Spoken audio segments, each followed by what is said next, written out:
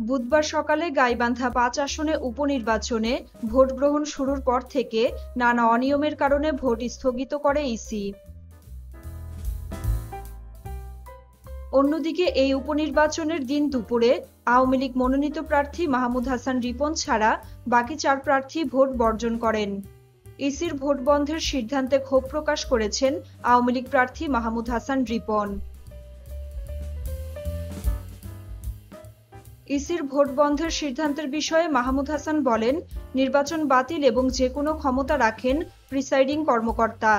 Vote স্থগিত ঘোষণা করা একান্নটি কেন্দ্রের প্রিসাইডিং কর্মকর্তা লিখিত দিয়েছেন, তাদের নির্বাচন অবাধ ও সুষ্ঠু হয়েছে। এতেই বোঝা যায় নির্বাচন সুষ্ঠু হয়েছে। এদিকে বাকি চার প্রার্থী অভিযোগ করেছেন, আওয়ামী লীগের কর্মীরা তাদের এজেন্টদের কেন্দ্র থেকে বের করে দিয়েছে। এ প্রসঙ্গে তিনি বলেন কোনো প্রার্থীর এজেন্টদের বের করে দেওয়ার প্রশ্নই ওঠে না। অভিযোগটি সঠিক নয়। এটা ভিত্তিহীন। আমার কর্মী সমর্থকেরা এটা করেননি।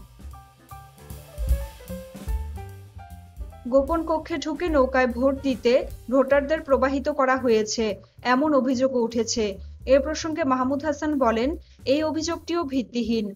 কারণ, এমন কিছু যদি ঘটত তাহলে ভোট গ্রহণ কর্মকর্তা কিংবা কোনো প্রিসাইডিং কর্মকর্তা রিটার্নিং কর্মকর্তাকে লিখিত অভিযোগ দিতেন। কিন্তু যেহেতু তারা জানাননি, তাহলে এটাই প্রমাণ করে ভোট সুষ্ঠু হয়েছে।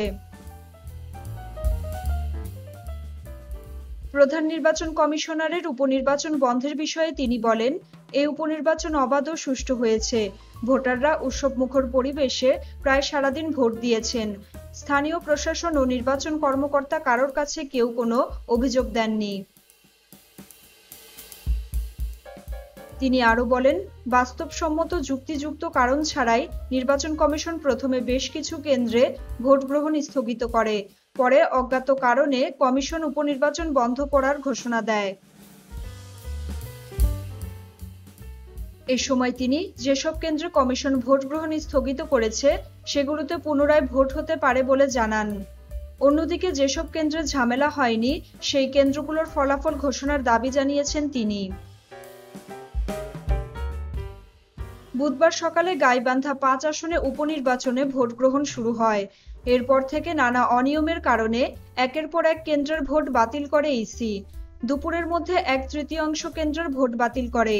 শেষ পর্যন্ত পরিস্থিতি সামাল দিতে না পেরে বেলা আড়াইটার দিকে পুরো ভোট গ্রহণই বন্ধ ঘোষণা করা হয়। নির্বাচন বন্ধ ঘোষণা করার পর সব মহলেই চলছে আলোচনা সমালোচনা